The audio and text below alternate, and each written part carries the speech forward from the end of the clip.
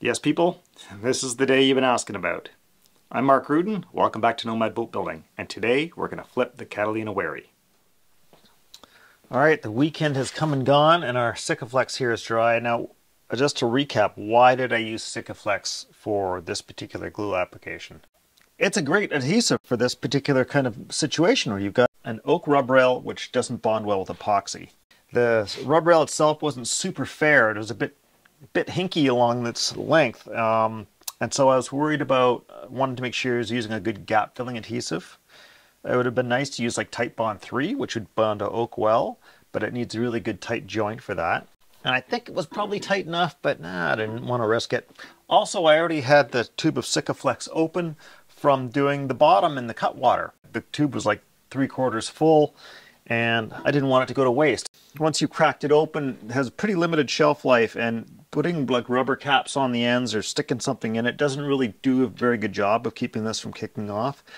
The best thing I've ever found is you just squeeze out a noodle and leave it hanging there and it will create its own seal. And if you're careful pulling that noodle out, it'll break free right where it hits the wet stuff and then you can keep using that tube. But you don't have a long time that you can leave it like that. I mean, once you've done it, I'd say you got to be using this again within about a week. Uh, beyond that, it, the cure will start to creep its way in there and then you're done. So rather than waste the whole tube of glue, might as well use it and this is a good use for it. Now we played around with the idea of not doing a cleanup while it was wet and I don't dislike that idea because this stuff is hard to work with. Well, it's not hard to work with. It is just messy to work with. Putting the tape on here and just leaving it alone, I think that was actually a pretty good move. I suppose what I could have done different is maybe taped off both sides and then just tooled that down. That would have been good. But what I did find is just using my multi-master with this slicing blade on here. It's just like a straight blade. It's got a slight, very slight bevel on the back side, although from the factory that's just dead flat and it's beveled on this side. Um, so that works really well for peeling off the Sikaflex. So I'll show you me how I do that in a bit. There's very little to peel off.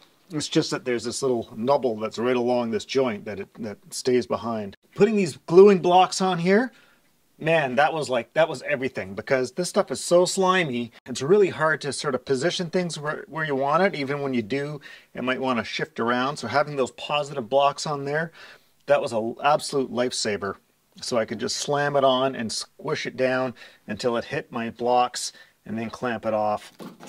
So I'm really glad about those.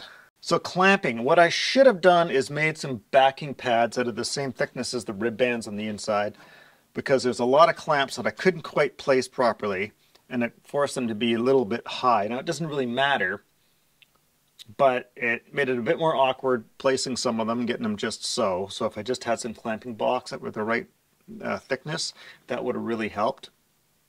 But it also would have allowed me to do some sort of tooling here. Maybe it's good that I couldn't clamp them properly because it prevented me from trying to clean this up and tool it at that time. Um, so maybe I would have just been in for a bigger, more longer, messier cleanup than uh, I did have. So it's one of those things you can't know which is the better way unless you do one side one way and the other side a totally different way and then sort of put the clock on them and time them. Anyhow, for the most part, this tape seems to have worked out well. Using my batten jacks at the other end of the run, or what I did was I just clamped them to a frame so I had something to drop one end of this into while I bent it around and got it positioned. So it wasn't holding it close to the hull, it was just carrying the the weight of it and allowed me to sort of slide this into position and get the first clamp on properly. That was a big, big help. If I didn't have those on there, it would have been, forget it. Forget it, would have been a nightmare. So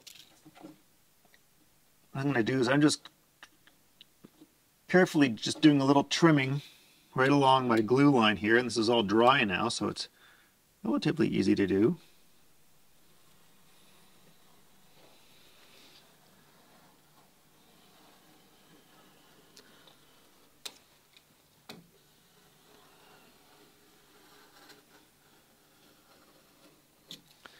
So if I run my knife around there, it comes off pretty easily. Now up here, it's a bit thick. I need to trim it on the backside some.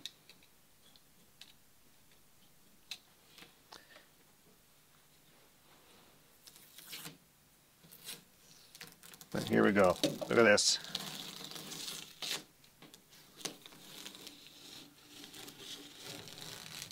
Beautiful. The other side I had, I guess my tape was sitting a little bit higher. I definitely got more of a glue line and that's where the Multimaster came in. Like right here, there's a bit of a nubble.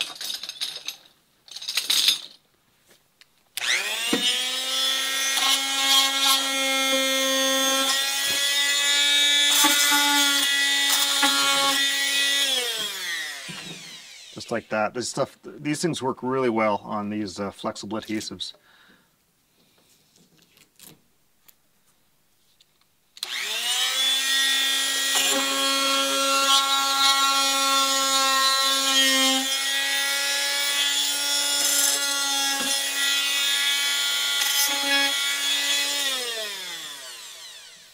See?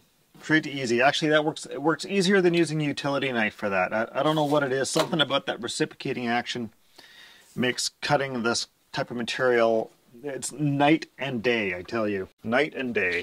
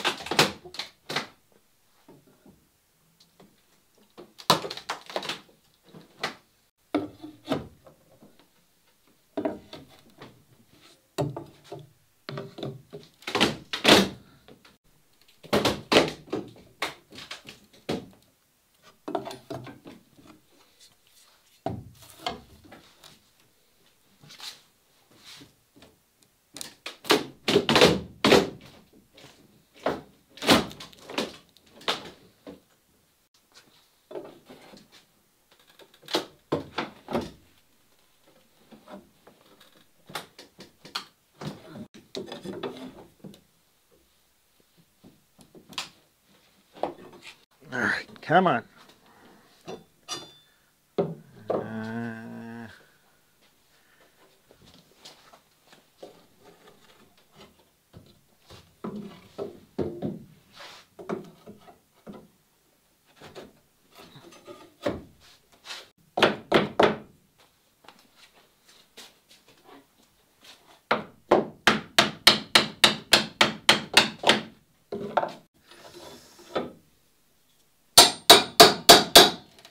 There you go. That one in there.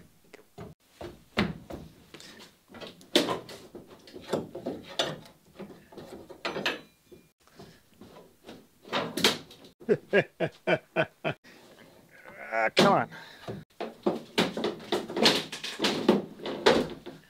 That's all the stringers in there that all sort of glued on a little bit. Let's see.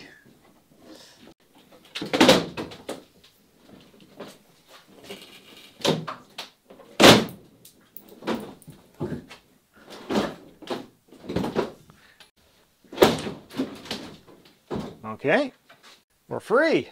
We are free. Right. That's not safe.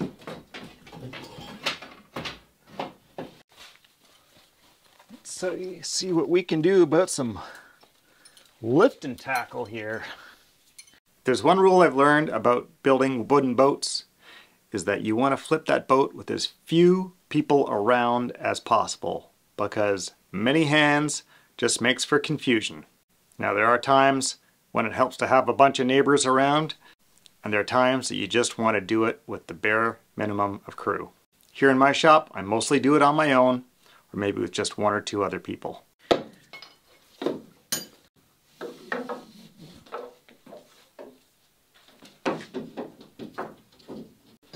Now, I honestly hadn't put a whole lot of thought into how this is all going to go.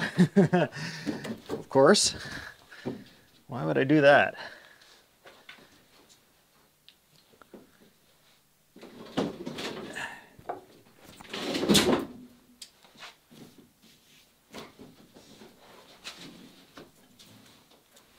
Okay.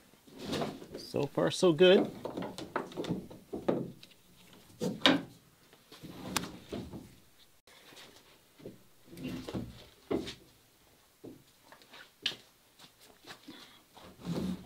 This is absolutely not the best plan, I'm sure of it. uh, okay, what can I do that's smarter?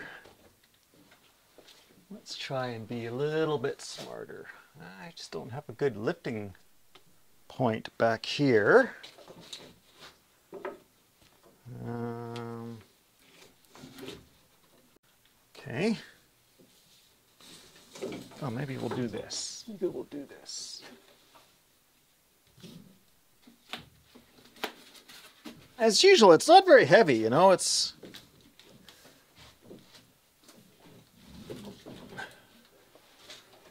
I don't know what it's weighing in at. I don't have a scale handy.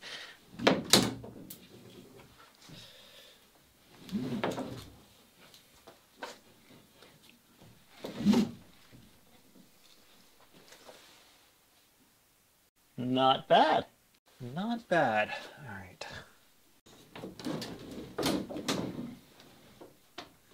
We're just going to go right up to the ceiling here, I think.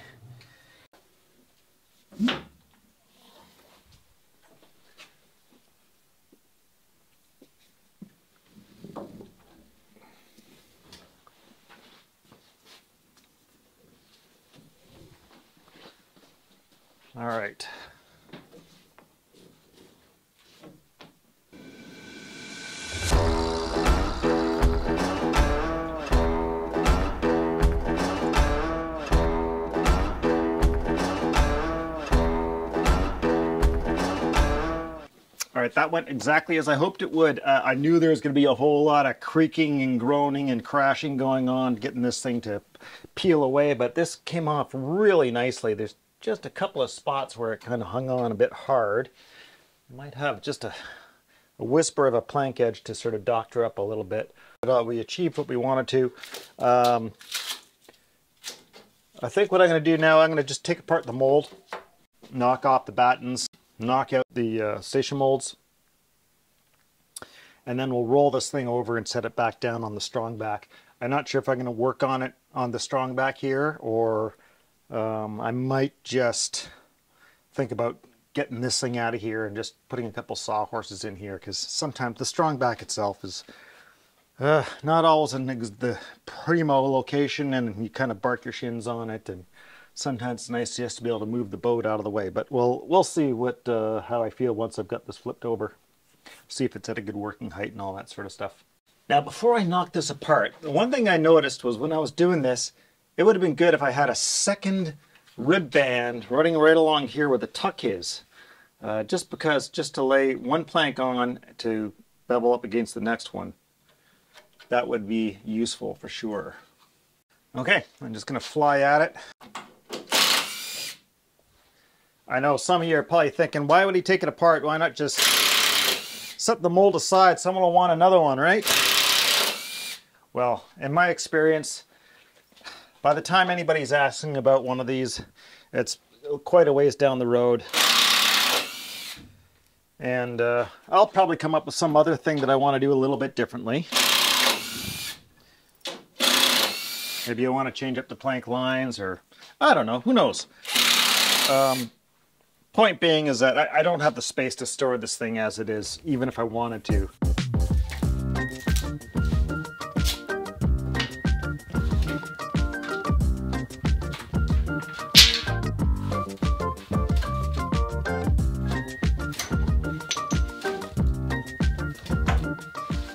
See, it's the nice thing about using a pin nailer here.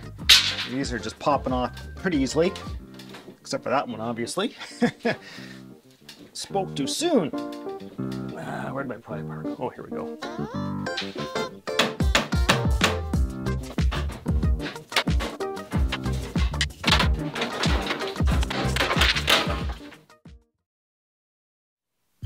Okay folks, I just want to remind you that these videos are made possible due to the support of viewers like you through Patreon. This week I want to welcome Helga Peterson into the fold.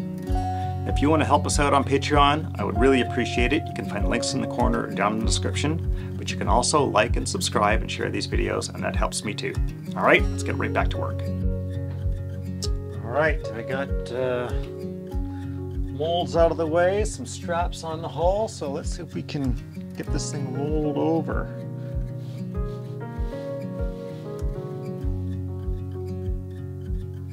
Sure if my heights are correct or not here, but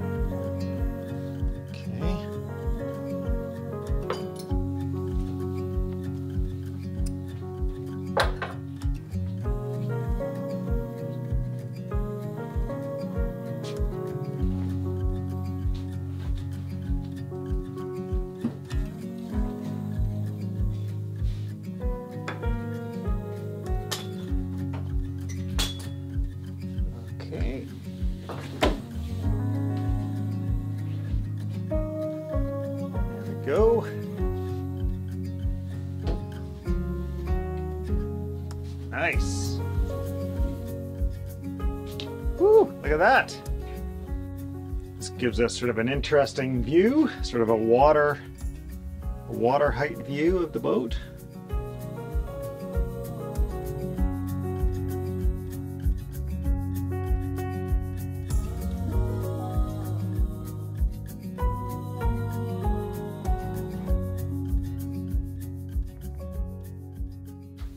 All right, let's settle this thing down and get another look at it.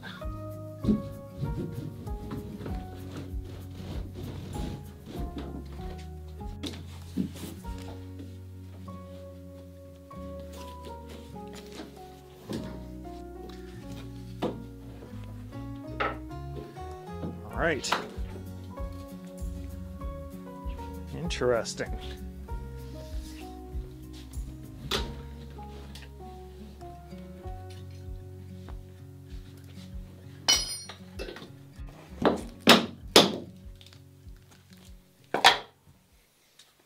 So all the backing blocks, let's pop out easy.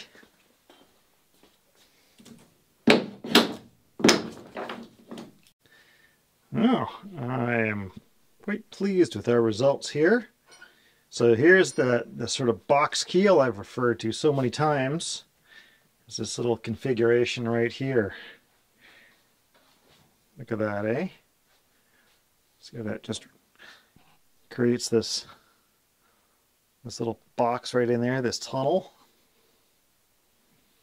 Well, I think uh, I think our client Joe's going to like this. It feels quite roomy, especially back aft. And and you know what? The it, this is the whole point of this design is that it gives you this big area back here. So you can imagine if you're uh, dealing with some a pile of netting, you know, you've got this big. You you can stand down here easily because the bottom's flat and then you've got all this volume back here that wouldn't be there if this was like a straight up dory hull. If this were a straight dory hull, these guys would just be coming, whoosh, you know, it'd be like, you know, maybe 12 inches wide or something at best back here.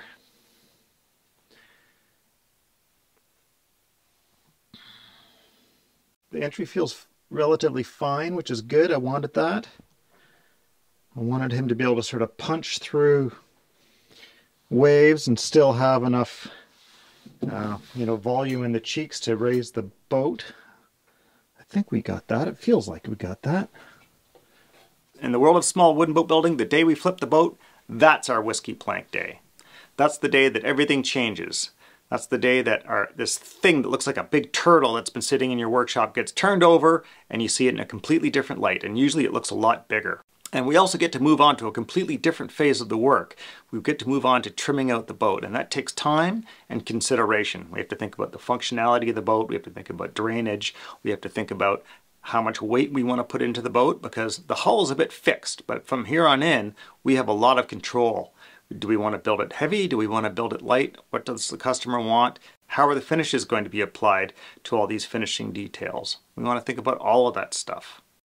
So please join me again next time when we start building up the Catalina Wherry. And until then, how about you watch how we flipped over the 2.4 meter project? All right, see you later, folks.